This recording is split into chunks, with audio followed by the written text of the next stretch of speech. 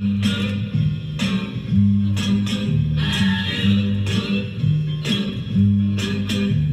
a man in the funny papers we all know.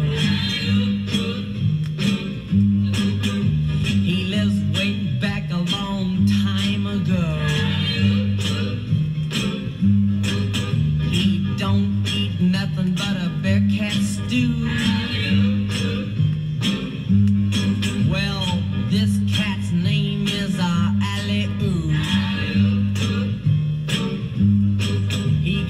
chauffeur that's a genuine dinosaur.